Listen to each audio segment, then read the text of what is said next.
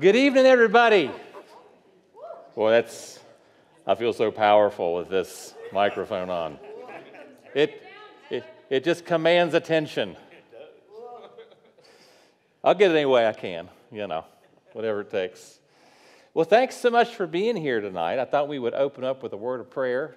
And uh, if, if anybody, like I said, if you don't have a notebook, there's plenty of them back there for everybody to have their own. So feel free to jump and jump in and grab one. And let me say a word of prayer for us. Father, it's just such a joy and honor um, to be able to do what we're doing tonight. And God, it's it's, uh, it's encouraging to see so many people here, Lord, that are willing to go deeper and to jump into uh, the deep end of the pool and go through a subject like this. Lord, you gave us your word as, as a love letter to us to let us know more about you, to um, understand you in ways that we would never, ever have known you. And Lord, you've disclosed yourself to us. And God, I pray that we would better understand you and your word, that we would love you more as a result of what we talk about tonight and in the evenings to come. I pray that we would want to share you more as a result of what we're learning here. I pray that we would uh, not take for granted that we have a copy of your word and it's so readily available. And Lord, now in, in so many languages, so it's accessible to so many people. And Lord, I ask that we, um, after a long, hard day, Lord, that many people have had, that you would freshen their mind, that um, we would have some good, engaging conversation tonight, that would be interactive. And Lord, we do all this to your glory. In the name of Jesus we pray. Amen. Well, again, welcome. Thanks for being here. We are going to jump in and let me throw out a term here right, right out of the gate. See if you've heard of this before. Has anybody ever heard? Are we, are we up? Is the PowerPoint going? Ah, you know what? There's a PowerPoint on. Um, it's got today's date on it, Tyler. I'm sorry. Okay. While Tyler's working out the technical difficulties, has anybody ever heard the phrase post truth politics? Post truth politics. This is not in your notes yet. I'm just introducing stuff. But uh, yeah, we're in this age of, they call it post truth politics, and it's, it's been defined like this uh, post truth politics is a political culture, this is from Wikipedia, a political culture in which debate is framed largely by appeals to emotion, disconnected from the details of policy, and by the repeated assertion of talking points to which factual rebuttals are ignored. So, does that sound at all familiar to you? And, oh, here we go. There's, there's what I just, uh, this, we're not in the notes just yet. But um, we're in this, uh, what this guy, Ralph Keyes, he came up with this. He said, We're living now in what he calls the post truth era. And he wrote a book by that title. And let me ask you, is anybody really surprised by that? That we're living in the post truth era. Now, what challenge does that present to the subject matter that we're going to be talking about over the next 10 weeks or so?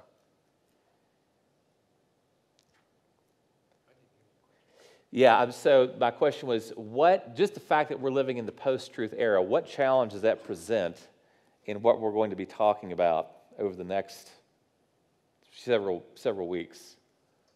Yes, Anita.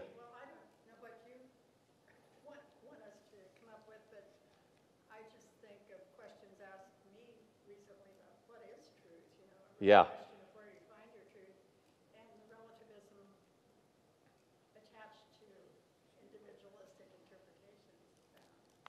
Okay, right on. Yet when you start talking about a post truth era, and, you, and, and then you're going to dive into a subject like the scriptures, immediately you find yourself in this cultural conundrum. Because if there's anything the scriptures scream, it is absolute truth. So it becomes an issue when you start talking about the Bible in this post truth era that, that we're talking about. And the issue in the culture has to do with, uh, you know, with whether or not even truth exists. But then, as Christians, what is our ultimate authority? And what does the word authority mean? And what is the difference between the authority that, the, as the Protestants recognize it, and the authority as the Roman Catholic Church recognizes it? Because as you'll see tonight, it's not the same thing. It's two different ideas of what authority means. So we're not surprised we live in this post truth era. But let me ask you something. As you were driving here tonight, you probably passed some other churches. You probably passed maybe a Presbyterian church, maybe a Methodist church, maybe a non denominational church, uh, maybe a congregational church, maybe a church that's charismatic.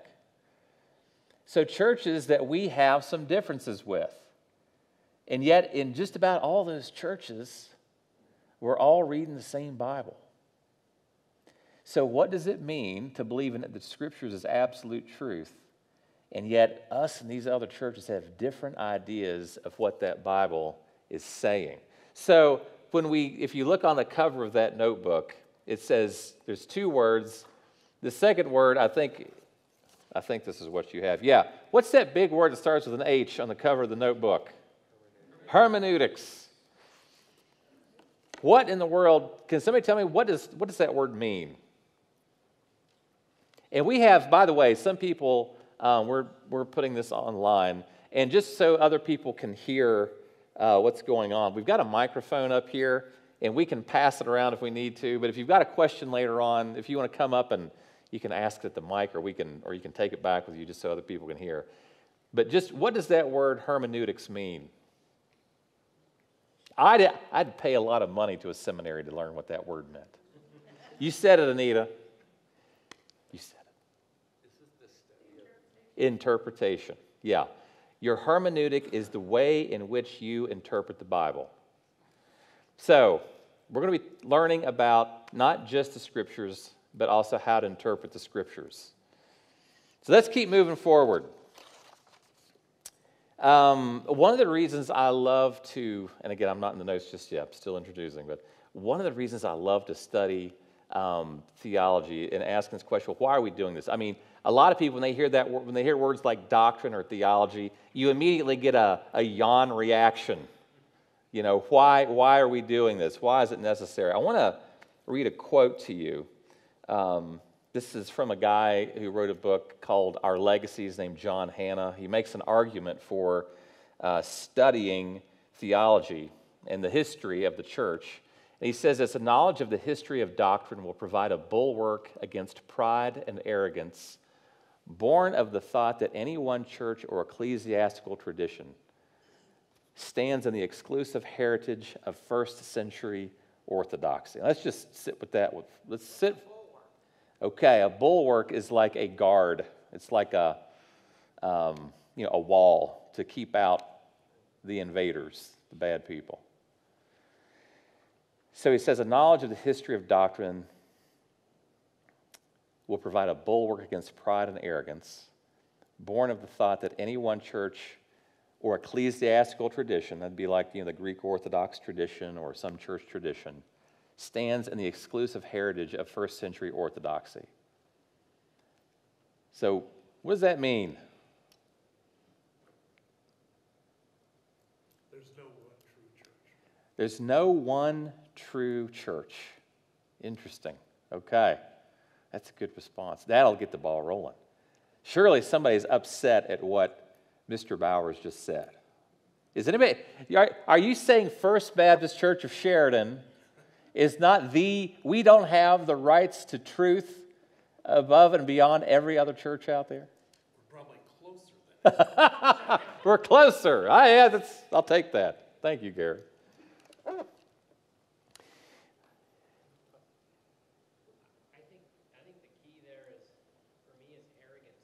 Okay. Yeah. Hold on. Hold that thought. You're, let me get you this microphone, man, because you're, you're getting ready to say some stuff that the world needs to hear. I was just going to say, uh, oh, yeah, sound got to um, I was just, it is muted, but the button. actually the mute on that one is by the Yeah, but it's, it's not red. Oh, there you go. There we go. I was just going to say that. Uh, to me, the key is arrogance, and that you're trying to guard against the arrogance that you would have um, since you're not knowing the history of the church. And that when you learn that history, you understand why the church you're in has come to its beliefs. Okay. Yeah, I, I think in, in understanding why your church has come into its beliefs, and churches have their own peculiar traditions. They don't like to think they do. They, most of us believe that the quote unquote traditions we have, well, those aren't traditions, that's just biblical, right? That's what we tend to believe. But if you actually go back and think that we are operating the, say, the same way a first century church does, you'd find huge differences in how we do things right now, you know, some 20 centuries later and how they did things back then. Thank you. Um, and then, um, in addition to that, they're actually finding.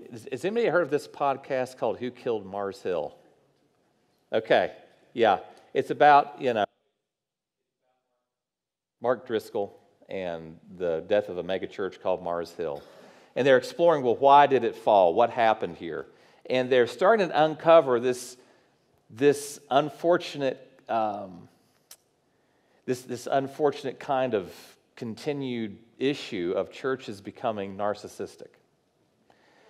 And a church, one of the things that makes a church narcissistic, if they believe they have the exclusive grip on truth more so than all the other churches around them.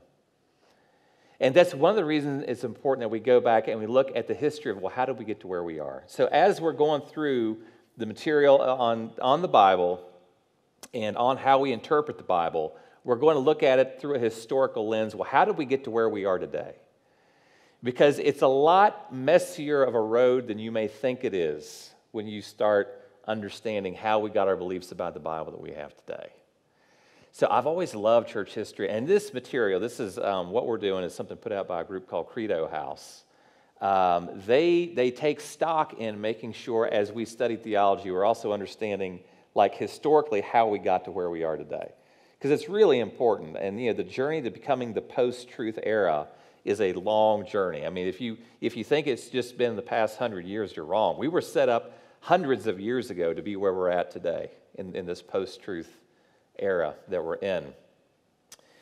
So, uh, yeah, I think in, you know, why are we doing this? We want to guard against pride. Um, a knowledge of the history of doctrine will provide a bulwark against pride. Uh, and, it's, and we want to be careful claiming a biblical precedent for all we do.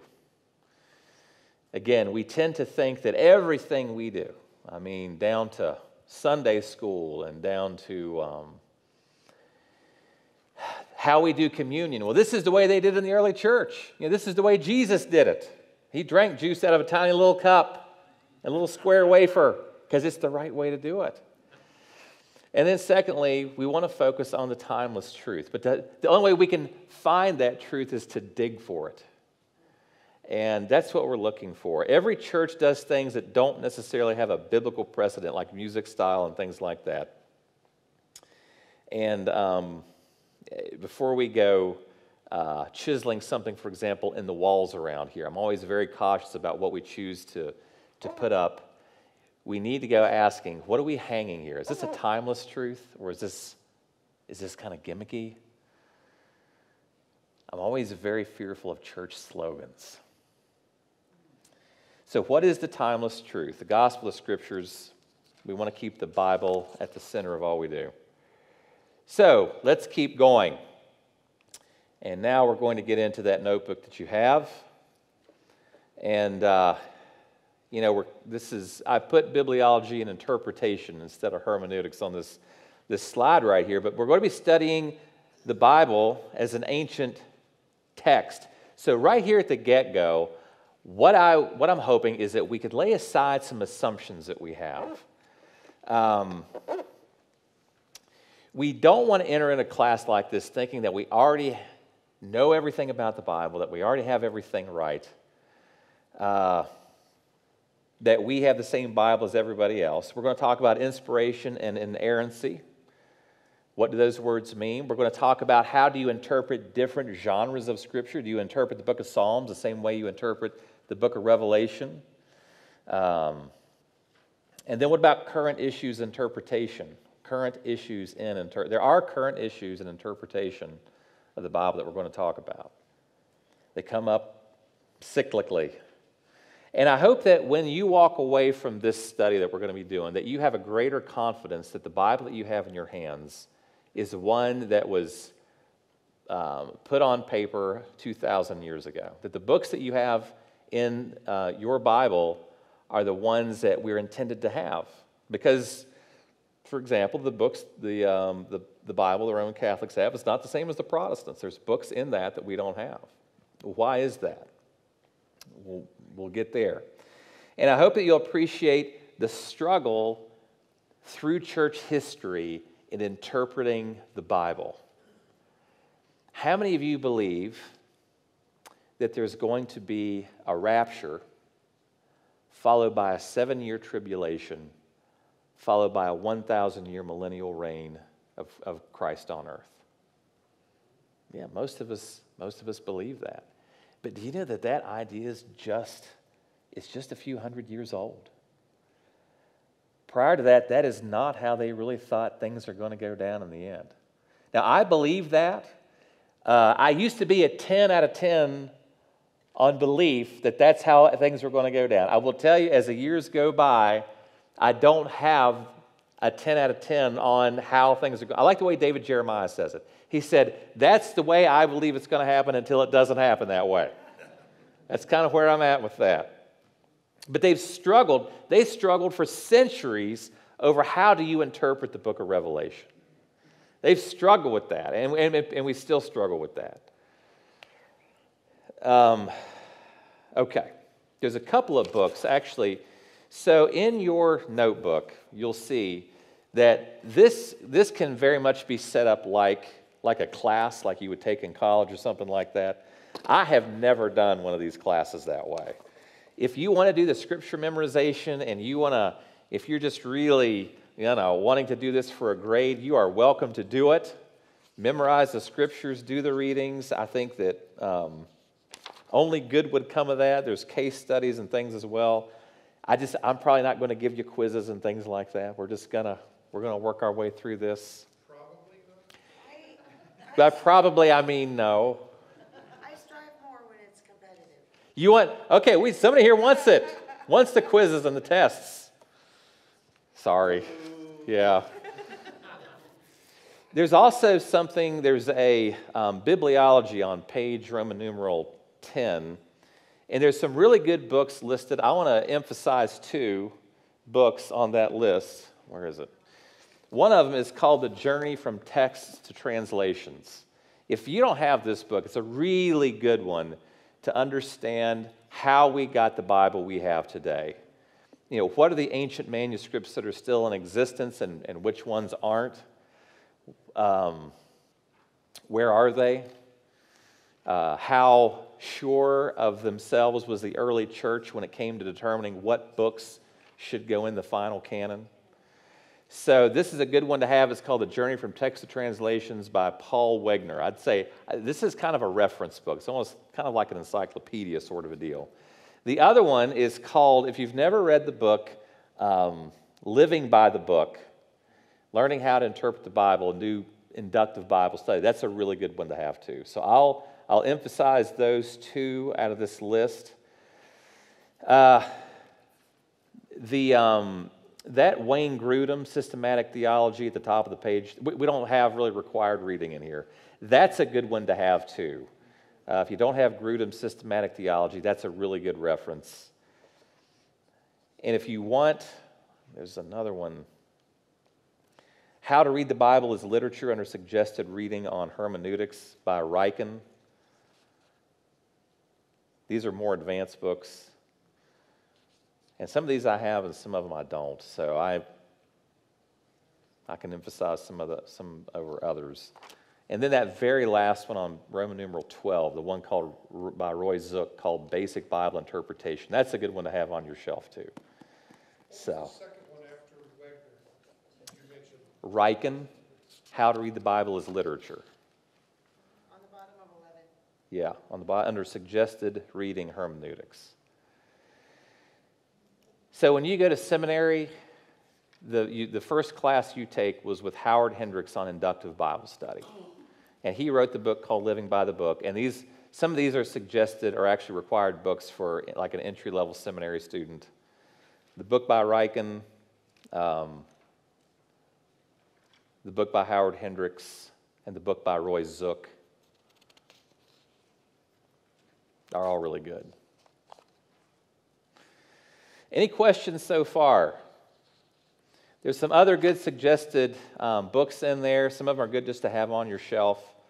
That on page uh, Roman numeral 14, I think that XIV.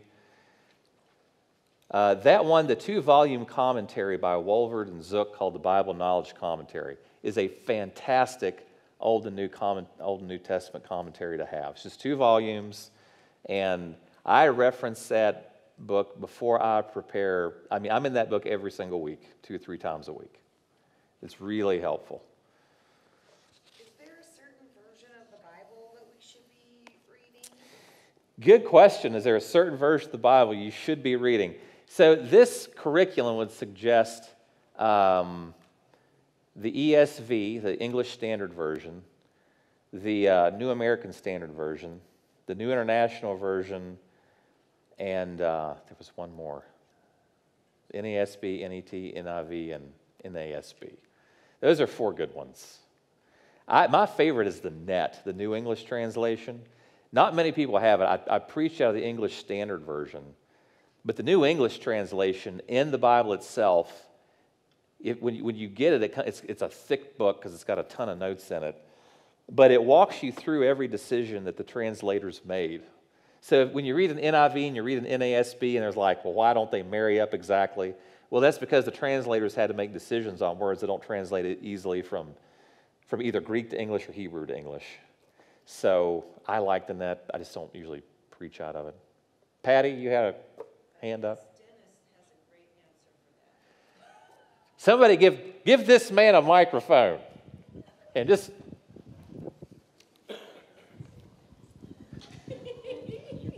You you have a five-minute time limit. The best Bible to read is the one you're going to read. Hey, just drop the microphone, Dennis.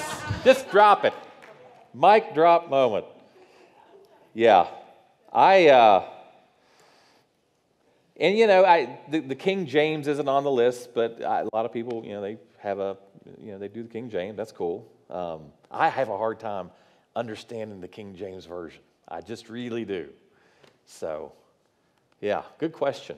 Good question, Tawny. Is it Tawny? It's Tawny, yeah. I almost called you Tammy. It's Tawny. Okay. Okay. Uh, any other questions? I like the way you're thinking. I like the way you're thinking.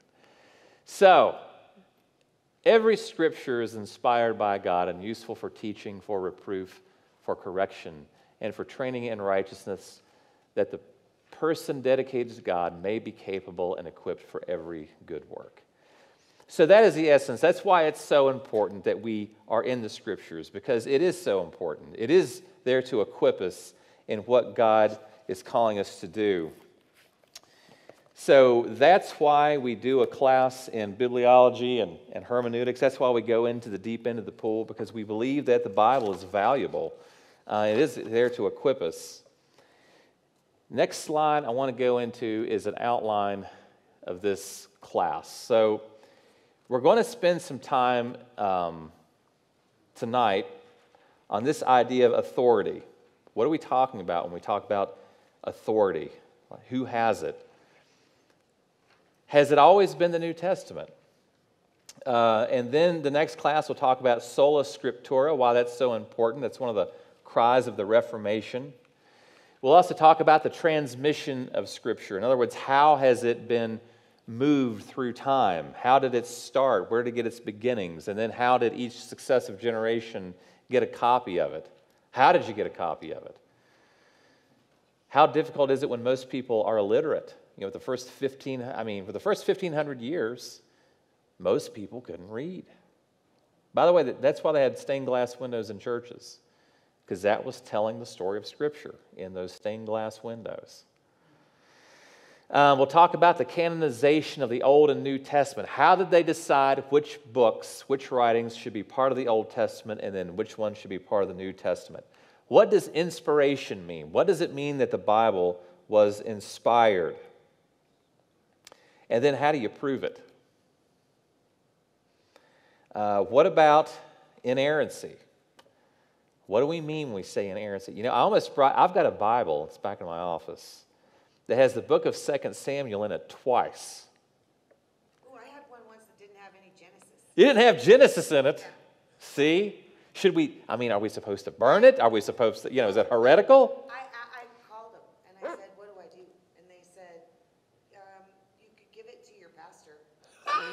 Yeah. So I did, and he just so happened to have the same Bible, so he gave me his, and I, Oh, that was super nice. yeah. I would never have done that. what Genesis says." Yeah. Very cool. Um, we'll talk about the history of interpretation. Let me tell you, that might that is one of the most fascinating subjects, in my opinion, is how people have interpreted the Bible differently against different historical backdrops. It's amazing. If you don't think what's going on in your culture at the time impacts how you look at the Bible, let me tell you, think again, because it absolutely does. Do you think how many people, how many pastors did you hear preaching sermons about how Russia was this part, you know, fulfilled this role in the book of Revelation? You don't hear that so much anymore, do you? Why is that? Now it's China. Now it's China. Why is that? Because China's rising to power. It has always impacted how we interpret the Bible. It gives me chills to think about how um, much our world and our country and our government impacts how we look at, read, and interpret the scriptures. And then finally, we'll talk about what do we mean by historical grammatical hermeneutics. When we interpret the Bible, we're taking into account history, we're taking into account the way the sentence is set up in the Bible. All of those things have an impact on how we interpret the scriptures. And I think you'll gain a really uh, a, a much deeper appreciation for what it takes to interpret the Bible. It is backbreaking, it is excruciating work, and there's so much at stake. So, um, you know, what we're after is to try to figure out is the book we have accurate to the original? You know, is it accurate to the original? So here's just kind of a collage of things we'll be looking at and studying. What is the Apocrypha? What does mechanical dictation mean? Um, what is revelation and inspiration? LXX. What in the world is, what does the significance of those letters LXX? Somebody, somebody knows. Extra large. I think that's XXL. They just got it. A dyslexic person put that in there, didn't they? The phrase regula fide. Know, all of these, what, what happens is we are putting these words into practice even when we don't know it. These words right here are in, impacting our lives without us even knowing it. So we'll dig in and find out what that means. Keep on trucking here. All right, so let's dig into session one. Authority. The question is who do we trust? I mean, that's really the question. Who do we trust? So a few questions, and we'll try to get through as much as I was going to go to about 8:15. Is that cool with everybody? Does that work? All right. Okay. Uh, what does that phrase mean? Actually, it means. Does anybody know what sola scriptura means? Scripture alone. Okay. We'll talk about what is the Roman Catholic understanding of tradition. What does Eastern Orthodoxy believe concerning tradition? And then what is the difference between sola scriptura, sola scriptura and solo scriptura? Two different ideas. Um, so, you know, what does it mean? If I were to, if I were to say, if I were to ask you, is scripture, the idea of scripture alone, is that important? Okay, we all agree it's important. that Scripture is authoritative. But does that impact you when you go to the grocery store? It should. Okay, it should. How? How does it? How? Well, if they run out of milk and you're, you're following the la, the lady that got the last one, you might have a little attitude. May keep you from slugging somebody, Yeah. but it doesn't necessarily tell you whether to buy the Chiquita or Dole bananas. So it does have a bearing, but maybe not in, doesn't speak to every situation, right? Gary? It means to pay for what you get. That's a definitely a biblical idea. Maybe not buy your dinner at the liquor store. Maybe don't buy your dinner at the liquor store. Are they offering dinner these days? Last time? Just depends on what you're. So before we go any further, too, let's talk for just a moment about where that phrase came from. So if you want to understand, well, why is Scripture alone so important in our lives, we have to know a little bit about um, something called the Reformation. So, who? Just tell me, who's the main figure of the Reformation? Martin Luther. Martin Luther. So Martin Luther, he's, he's like a Protestant hero. Not so much a hero to the Catholics, but he's definitely a Protestant hero. And it was helpful for us. The Catholics, he did make some reforms for the Catholics as well. They just wish he'd stayed like within the confines of the church. They, they got really upset when he went outside the church and felt like he was criticizing from the outside of the church. And also, some would say, but we see him as a hero. Now, some would say he's quite neurotic. Does anybody know what Luther was absolutely neurotic about? He was neurotic about his own sin. He was obsessed with it. He was constantly afraid that he was going to go to hell. He was just terrified. And it, it really impacted even his digestive system. Like he was in the bathroom all the time. They found what they think was the outhouse that he spent a lot of his time in studying because he was so neurotic, it affected you know, him physically. He was scared he was going to hell. He was a very anxious man. And back when Martin uh, Luther was around, um, the best way to kind of make sure you were going to go to heaven was to become a monk. So he became a monk. He just wanted like, you know, kind of like, you know, if somebody was unsure of whether or not they were a good Christian, maybe they'd run out and become a missionary. I don't recommend that. But if kind of you wanted to, you know, seal the deal, that's what he thought he was doing by becoming a monk.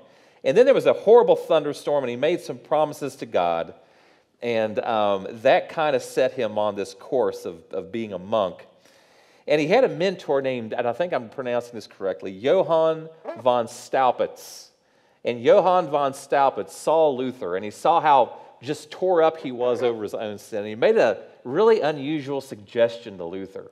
He said, Luther, what you need to do is you need to go to this Bible college, this, you know, this school, and you need to become a professor and you need to start preaching. He felt like that, diving into the scriptures in that way, would just help him get over this, um, this issue he had with his, his own fear and, and turmoil. As a matter of fact, Luther was known to confess his sins for up to six hours a day. Just, About Jesus? he knew about Jesus, but he was obsessed with his sin. And somebody knew he, he didn't have it, he wasn't seeing it rightly. So he, um, he gets his doctorate, starts studying, he starts preaching. Um, he assumed the chair, the professor of, in, in Bible of this university he was at. And he still had this inner fear. It's this, um, he calls it, this is the German word, uh, Anfechtung. Anfechtung, I think I'm saying it A N F E C H T U N G. And the tra- it's a hard word to translate into English. And it's best described as a trial sent by God to test man or an assault by the devil to destroy man. But that's how seriously he carried um, his faith and what he believed. He always felt like he was being assaulted. And, and all that doubt and turmoil and tremor and panic and, and despair, all this was invading him. And he went and studied and and he became this professor and preacher. And as he studied with the fervor that he had, you can see the fervor this man has. He started seeing some differences between what the church was teaching and what was actually in the Bible. And it was getting to him. And he wanted to uh, challenge some things. He started thinking maybe the church was wrong on some issues. That was unheard of. I mean, the church was the safeguard of truth. You wouldn't have thought about challenging the church on anything. But the more he studied, the more it bothered him. Finally, he wrote excuse me, he wrote out a list of 95 issues that he had with the church. You know, things like, well, what's up with the Pope? Um, what's the deal with all these doctrines about Mary? The biggest deal for Martin Luther. Does anybody know what was the biggest deal for Martin Luther? The selling of indulgences. Yeah, that the Catholic Church could sell you a piece of paper to ensure you a, uh, a place in heaven, that your sins were forgiven. So he took issue with all those things. And finally, uh, the Pope heard about this, this list of issues he had. He, he hammered it to the uh, door of a church in Wittenberg, Germany. The Pope heard about it and was like, Well, who is this guy? And they summoned him to a, a council. It was called a diet at the time. They summoned him to this and said, Look, you need to recant of these issues. Now, Martin Luther just wanted to have a conversation. Yeah, he didn't want to go up against the church. He's like, Well, I just want to talk about this. But they call him into this, this meeting. They said, I want you to recant. They had all of his teachings laid out on the table. And they, they told him, you know, recant or, or bad things are going to happen. I mean, you know, people are getting burned alive. And he said, Give me a day to think about it. Has anybody ever seen the movie Luther? I tell you, their depiction of the night before he was, you know, between when he said, Give me a day to think about it, and the next day when he was actually going back before the council, it's powerful what this guy went through. It was like he was being chased around the room by the devil, is how he described it. So they said, Give me a day to think about it. Um, now, the understanding, you know, he was challenging everything about the church. He was challenging the idea that the Pope was the successor to Peter, right? So the reason the Roman Catholic Church has a Pope was the idea, well, Peter was, it says, was given the, the, um, the keys to heaven. And, well, somebody's got to keep the keys to heaven, so the next person Peter discipled, they had the keys to heaven. And eventually you have this office of the Pope. Well, he's challenging all this. And he went on to say, yeah, the church isn't the church any longer the way you all are doing it. Now remember, he's, he's a nervous guy and he's challenging this entire structure of the church. There were no, no denominations at the time. I mean, the church was the church. This was, this was it. And he's going up against it. Remember, you know, if you thought he had stomach issues before, now he like can't get out of the bathroom. So, and, and it's true that he spent that whole night just about on the toilet. He was so upset about what was he was going to have to do the next day. So he made a life-changing decision. He's got a lot of followers. He goes the next day before the council again. They ask, "Will you recant?" And this is what he says. This is one of the most powerful statements in church history. He says, Unless I am convinced by the testimony from Scripture or by evident reason, for I confide neither in the Pope nor in a council alone, since it is certain that they have often erred and contradicted themselves. I am held fast by the Scriptures adduced by me, and my conscience is held captive by God's word. And I neither can nor will revoke anything, seeing it is not safe or right to act against conscience. God help me. Amen. So he just said, I got to go for it. He said, I can see the truth. I cannot recant. He's expressing, I think, a great deal of humility in this statement, but he can't do what the church is asking him to do. If you read some of his later writings, by the way, he gets kind of more arrogant. Like he takes this stand, knees shaking. However, later on, he's kind of got a following and he's more confident that he's right. He gets a little more arrogant. Um, so he said, This is where I stand. I can do no other. And then the, ref, the Protestant Reformation happens. By the way, Protestant's not a great title. We're protesters. Well, what are we protesting? Well, we've been given this identity as the protesters of the Roman Catholic Church. So, five cries, five solas came out of that, that Reformation by faith alone, by grace alone, by Christ alone, by Scripture alone. And there was one more, I think by the Holy Spirit alone. But um, five views came out of the, the Reformation in regard to the Scriptures. I'm sorry, in regard to authority. and we'll go through these. One was sola ecclesia, uh, the church alone. One is prima scriptura, the scriptures are primary. One's called the regula fide, that means the rule of faith. Sola scriptura, the scriptures alone. Then solo scriptura. So let's talk about what these different views mean. But first of all, let's talk about tradition, because that's an important part of the conversation. What is tradition? Before we look at the dictionary definition, somebody, could somebody step up to the microphone and just tell us when you hear the word tradition, what is it that you think of? We can even pass around the mic. Here, I'll be the. What do you think of?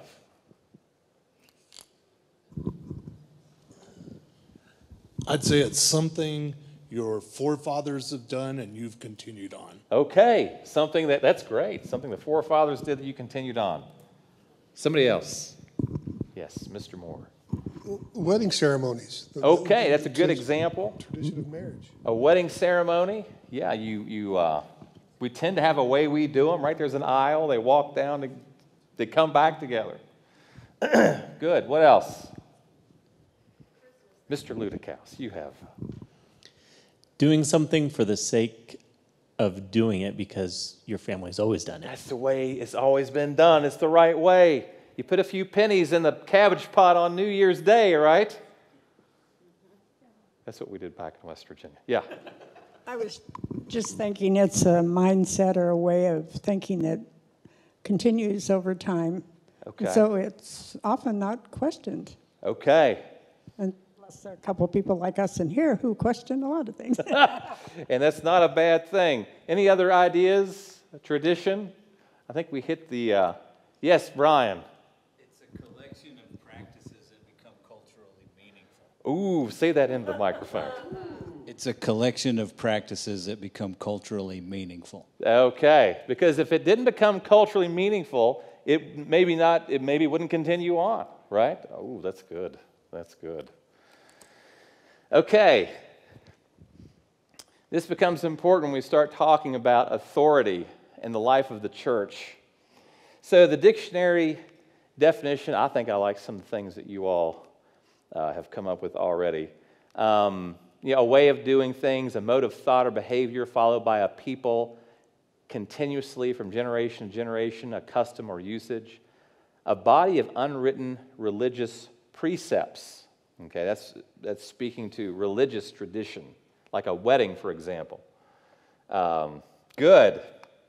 It's a way of doing things. What are, what's a tradition that we have at First Baptist Church that is not in the Bible? Communion every Sunday, first Sunday. Yeah, Okay, the frequency of communion, and the date. the date, yeah. Doesn't it say somewhere in the Bible it's on the first Sunday of the month? I think so. The book of Hesitations, Hesitations chapter 1. Good. Communion, what's another one? Okay, the way we organize our services. Call to worship, some songs. Songs gradually becoming slower as we go along. Elder prayer, sermon. That's, that's the right way. Okay, what else? Order of service. What about Sunday school? Is Sunday school, is it in the Bible, thou shalt have Sunday school? What would happen if we tried to take it away? Ooh. What about styles of music? Baptism? Instrumentation, drums and stuff. How many remember the first time somebody brought a guitar into your drum? Do you remember the very first Sunday you had a guitar in your service? Did it create some issues? You bet it did. Uh, drums. Drums were the. Guess who the guy was who was most against the drums when they came to his church? Who almost didn't go to that church because they had a set of drums? This guy. The drummer. I had big issues with the drums come. Oh man, what's next? What's next? You got to cut us some. You got to cut us some slack. Yeah, so all of these things are not biblical, but they very much become a way of doing church. They become tradition. Christmas Eve services, um, So, we treat these things. Um, what do I want to say about this? This is about things we do that are completely separate from Scripture. Uh, traditions of the church will typically fall under one of these headings, but um, we wouldn't say that they're necessarily infallible, would we? Okay, let's keep going. Uh, time honored practice or a set of such practices. That'd be like um, uh, president taking the oath of office. Okay, so this is all about tradition. So let's keep going. There's two types of tradition that mainly occur in church history. And these are, these were um, a guy named Keith Mathison is the one that came up with these, these two classifications of church tradition. There's tradition one, which is a, a summary, it's defined this way a summary of Christian orthodoxy that has been held by the universal slash Catholic Church since its inception. It is infallible only because it accurately represents Scripture. If it does not accurately represent Scripture, it is not true tradition. Therefore, it is subject to the Scripture, often referred to as the regula fide. Now, that's a phrase, we'll unpack it more as we go. But what does this mean? So, can somebody tell me what is a summary of Christian orthodoxy that maybe we reference from time to time? The creed, exactly. Something like, and what would be an example of a creed? Nicene Creed is a good one. Apostles' Creed is another one. Those are two really common ones. And these are summaries of what Christians believe. Um, but would, let me ask this would anybody say that they are infallible? Yes or no? I see a no in the back. No up front. Yeah, infallible, if you define infallible, it means incapable of making mistakes or being wrong. Well, we are all, so if Renan wrote them, then, then yeah. Okay. If, you know what I mean? So we wouldn't necessarily they're, say they're infallible. Would we say that they're true? Okay. Now, this is where it gets interesting. Because we think they're true, um, but yet not necessarily infallible. So,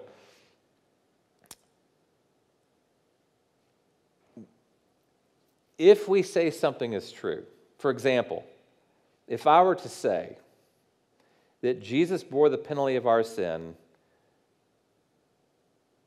making his righteousness available to us all by means of grace through faith.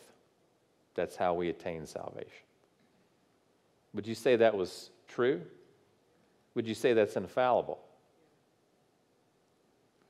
But it's not scriptural because I'm summarizing, aren't I?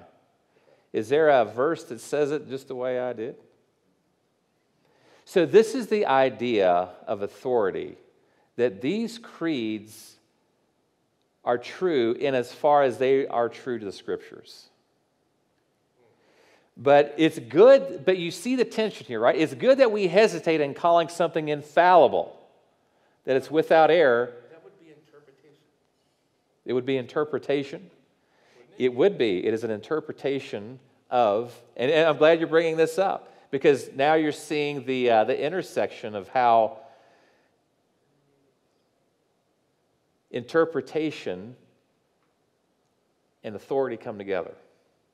Because the reason these creeds were written was because people were interpreting the Bible very differently.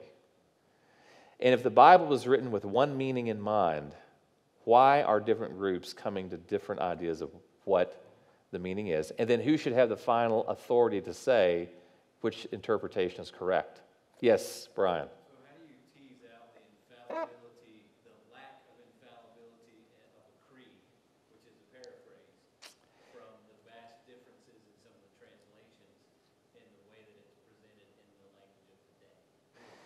So, this is how, if you, so let's look at that definition again.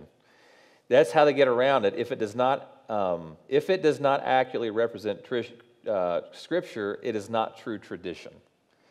So, and I, and I think I think I'm getting to your question here. You get around the you get around having to use that infallibility word with the creeds by saying it's only true in as far as it's true to the scriptures. Now, what was the second part about the uh, differences between the interpretations? Well, from different translations. Okay. So like some of the more modern translations almost sound like paraphrasing. Yes. You- Yeah. Yeah.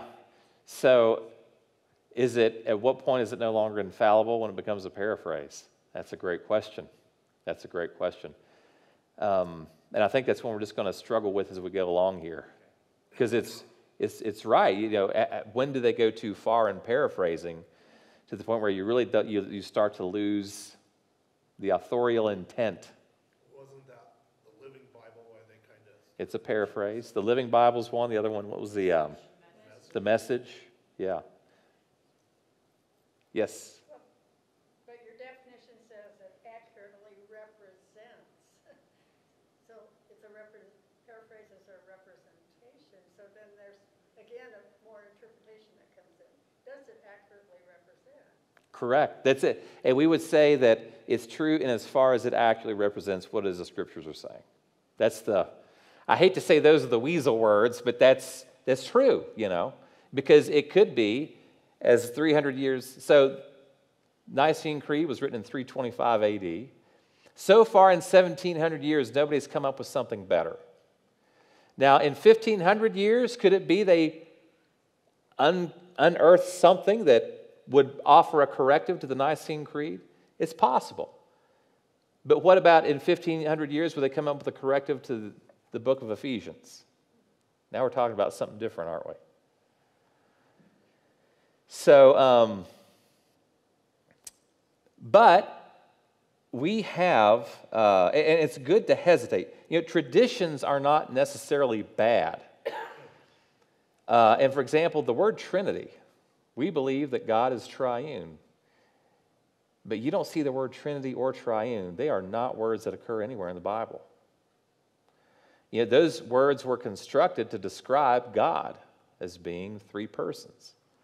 But they had to be coined. They had to, someone had to come up with those. There's actually a guy named Tertullian that came up with the term Trinity a few hundred years after the scriptures, um, after the time of Christ.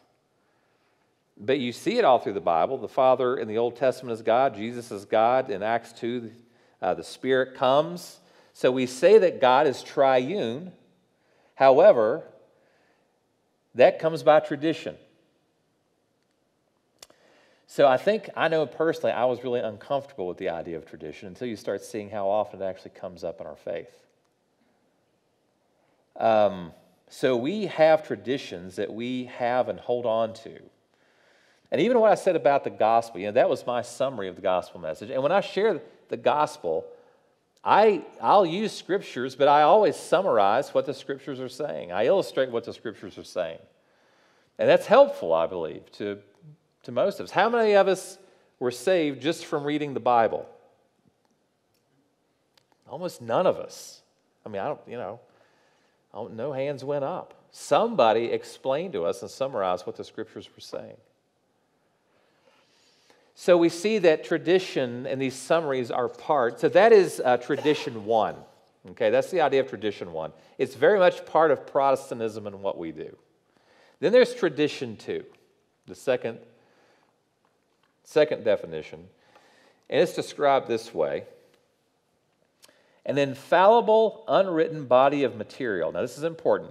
Listen carefully. An infallible, unwritten body of material that contains information beyond that which is contained in Scripture. For example, Marian dogmas and infallibility of the Pope. Does anybody know what is a Marian dogma? So, so the Roman Catholic Church believes, for example, in the perpetual virginity of, of Mary, um, that Mary never sinned. Those are Marian dogmas. And that the Pope has infallibility, that the words of the Pope can be as authoritative as, as Scripture. This tradition began with the apostles' teaching and is passed on through a succession of bishops. It is only revealed when issues arise that make it necessary for a pope or a council to speak authoritatively from this, and this is an important word, this deposit of information, often referred to as living tradition. So, what does this, what's this mean? Is that like when the Pope said that being gay was okay? Yeah, sort of. Yeah, like when the Pope said that being gay was okay. Everybody was like, oh, it's all cool. And that one's a little more like, mm, that one's a little more questionable. Um, it, it's- probably maybe easier to think of it. It makes more sense to think of it, I think, this way. Um, so, uh, first of all, as Protestants, we're mainly for tradition one, not this tradition two. This is what Protestants are going to struggle with. And tr- tradition two, it took time to develop, but think, think of this for a moment. Um, we talked a little bit about the Pope, right? The idea of the Pope is the, the person that came after. It's like the tradition of Peter. Peter discipled someone who discipled someone who discipled someone who discipled someone. And those, that line of disciples became the chain of the popes. And there was always going to be someone else in that succession. The folks that adhered to this early on, they also believe that, um, that Jesus' primary ministry was to who? His disciples. That's who his, his um, ministry was primarily to. And among them, he had some that he, were, he was more close to John and Andrew and Peter. He was probably more close to them. John was the disciple whom Jesus loved, according to John. So they saw this system that these early apostles, they held weight. They knew things. They were, they were given information that they passed on. And who would you say is um, closer to the teaching of Christ? Someone who was discipled directly by Peter or Andrew or someone that came along 1,500 years or 2,000 years later? Who had more correct teaching? Maybe the person that came just a couple of, maybe the person whom Peter discipled. or maybe another person removed, you know, like the, the, the grandparent, the grandchild disciple of, of Peter. And what if you came to Christ not by reading one of Paul's letters, but because Peter himself led you to the Lord? So that person would have a certain level of authority in the church, someone that close to Peter, you know, being discipled by a disciple. So you got extra authority by virtue of being a disciple of Christ. The writings these guys had was canonized. So you were more right if you fell into that line that uh, went by the disciples. And this is how we end up with something like tradition two. So remember, in that very early church, they didn't have full Bibles. So they were reliant on people who seemed to be close to those disciples, who were taught by those disciples. And individuals held authority. Somebody needed to have, like, somebody needed to be minding the store, right? Someone needed to know what they were talking about. I mean, you had a, a Paul just wrote a letter to a church over there and a letter to a church over there, but but like who really knows what's going on here? Well, these disciples and the and the next generation of disciples. So they're working with scripture, but the emphasis was changing. And people needed to have authority. They needed to know what was we're getting past somebody's bedtime here. So, this was the sense of tradition two, that you had disciples who had authority that were teaching, and ultimately that teaching became Scripture. But the Scriptures wouldn't be canonized. In other words, the Scriptures themselves uh, wouldn't be identified as the Bible until like another couple hundred years. Yes, Alan. So then, with all the apostles around Jesus' time uh, spread out after he, you know, uh, was resurrected, um, and then teach something different, because like the Pope, where did he come from? Okay, so the question is as the apostles spread out, were they teaching something different? Yeah, I mean, I mean, once I, I'm, I'm, I don't want to sound crazy. stuff got lost in translation. Yeah, so so like people will say Saint Peter, and then that leads to something else.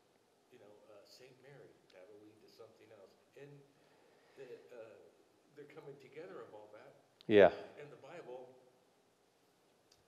sometimes just don't mix. So are they having different views on what it was like to be around Jesus? So, yeah, well, I think, so yeah, the question is are all these different perspectives of what was going on among these disciples? Was it getting mixed up, so to speak? So, yeah, I, I think that you're really driving to the question of why we're asking the questions and studying what we're studying right now.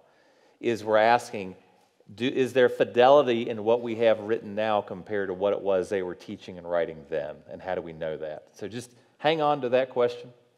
We are slowly unpacking that as we go along. Yeah, good question, though. So let's talk about then um, about this uh, rule of faith, this regula fide. Um, and let me just read what's in the box and we'll talk about it for a minute.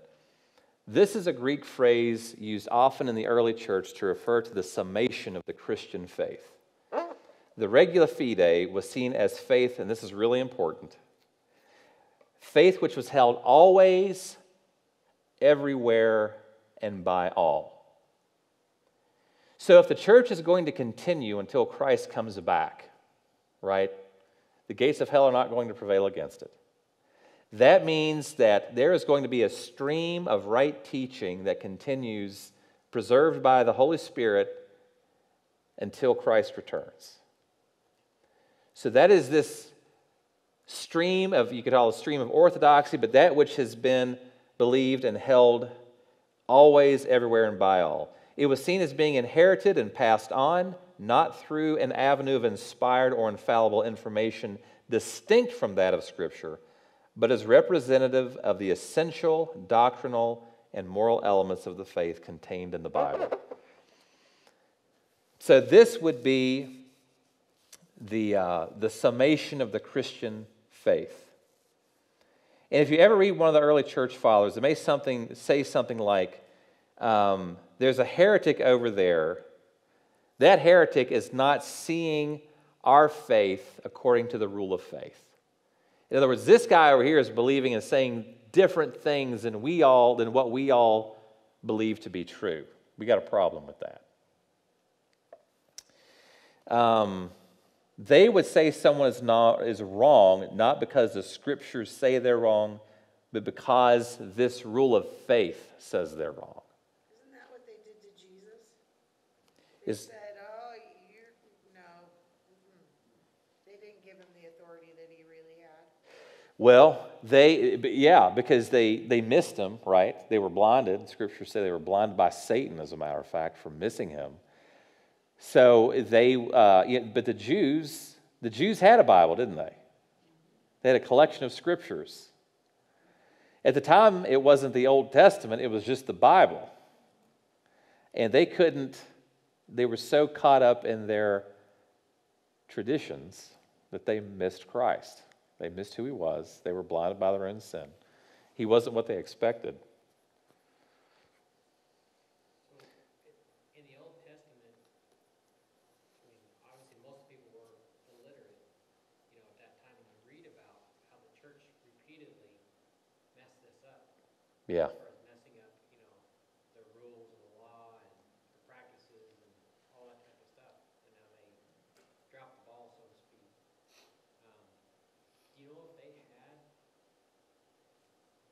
some of those early church books in the Old Testament at that time? Yeah, well, yeah. Well, if you mean the writings themselves of, yeah, I mean, this would have been the scrolls that they kept in the temples. This would have been with the, uh, the scrolls they kept in the synagogues, or the words of the prophets.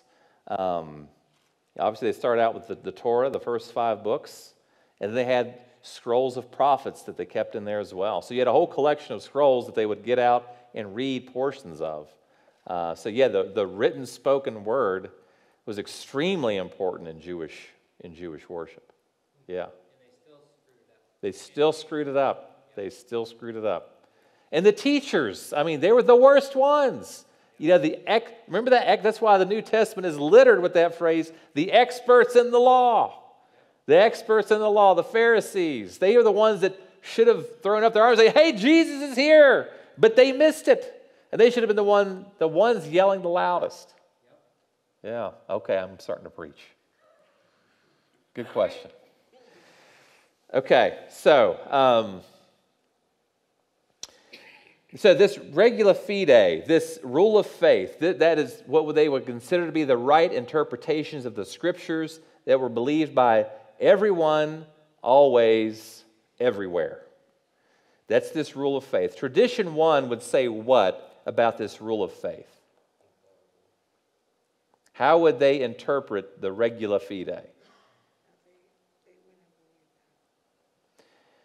Well, they would probably say it's just scripture in summary form. That's this rule of faith. Tradition, two, would say it's a totally separate source because, because they aren't using scripture, they're using a separate source. Okay? Um, so, Isn't that kind of like the way the world is now? the way the world is now? Just like you could take, you know, uh, always, everywhere, and by all, not a big deal. Well, I, no, I would, well, I would say that the world now wouldn't be willing to acknowledge there's any kind of central truth. You know, I would say they wouldn't. That would be, this would be foreign. They would not like, yeah, the world today will not accept any kind of a universal dogmatic truth. Right, that's kind of what I was, Yeah, that's good for you. You can, you can believe that, and I'll believe what I believe. and- you have to respect what I believe. oh, Yeah. I say it wrong? I don't know. That was my interpretation of what you said. I, No, what I meant was like, you know, they're, they, they don't, it doesn't matter to them anymore what it's, what it's like, the rule of faith. It, it just do whatever you want, Oh yeah, there is no rule of faith. Right. Yeah, that, it's like that's yeah. Postmodernism won't really accept a rule of faith. Yeah, yeah, yeah. Right on. Um, okay, so so someone may well say what I believe is the Bible. Well, that would not have been good enough because lots of people said that, and you still didn't know what they believed. It's still that way to some degree. Some may say that they believe the Bible, but they, you know, every. Uh, every every church in Sheridan would probably say, "Hey, we believe the Bible," but we all come up with very different meanings in what the Bible's saying. Back then, they would say if it was outside the rule of faith, it wasn't true. That's why you didn't have multiple denominations at the time, because everyone subscribed to this rule of faith. What they believed was the right interpretation of the Bible. Any questions on that? I think we'll go for one more, one more slide here. We'll do uh, solo ecclesia. So the Greek word for church is ecclesia. So when you see that word ecclesia, it's talking about the church. So this is this would be translated the church alone. It's the belief that tradition, notice capital T, represented by the magisterial authority of the Roman Catholic Church. What would the magisterial authority of the Roman Catholic Church be? It'd be the Pope and the cardinals or the, the bishops. Is infallible and equal to Scripture as a basis for doctrine. It is the final authority in all matters of faith and practice, since it must define and interpret Scripture. So, um, this magisterial, te- some you could call it the teaching authority, has this, um, this power. And this is the institution. This, they would say the institution produces the rule of faith, that the church produces the rule of faith. It was the councils and creeds that produced it, and uh, that the church has the authority to interpret the Bible. They, that the, the church will tell you and have the final say in what the Bible means. And uh, you can look at it one more slide, and then we'll stop here. So, this is a, a way of thinking of solo ecclesia, sola ecclesia. Um, Jude 1 3, contend earnestly for the faith that was once for all entrusted to the saints. So, that once for all entrusted to the saints, that is this deposit of faith that we're talking about. This is what was given to the disciples, to the apostles. What is inside that circle. And that's what needs to get passed on. Well, in that top line, you've got the Catholic Church. What do you notice about that line?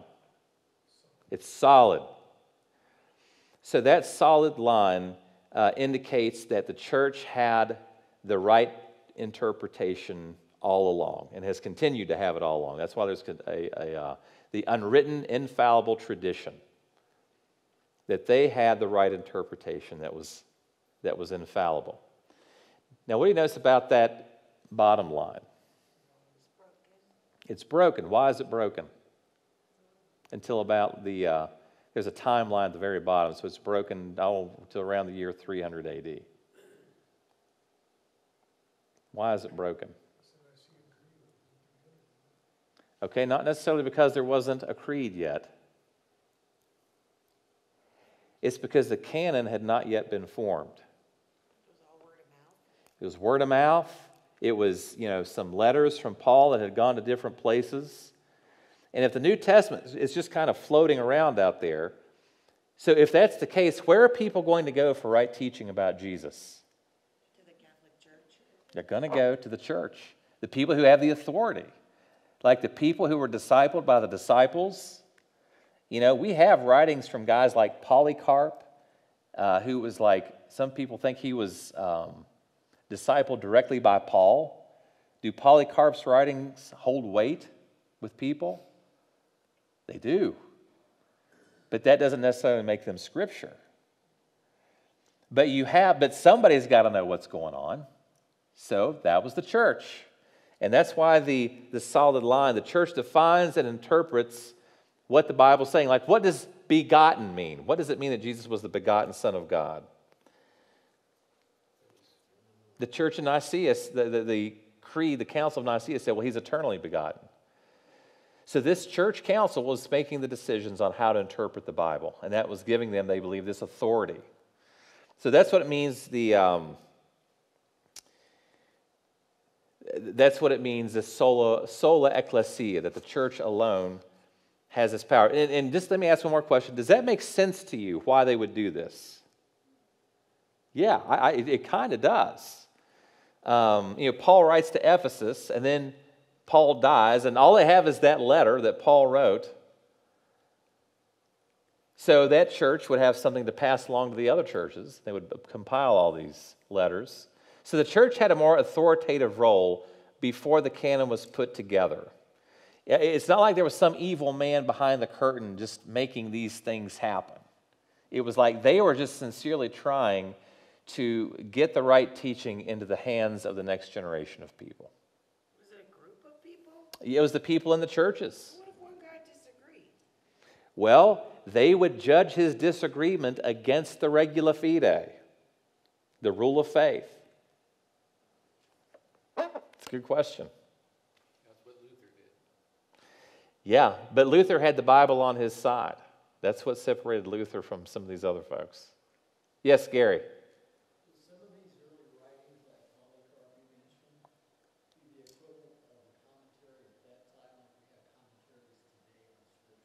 Yes, yeah. These are like early commentaries, a lot of them. You could think of it that way.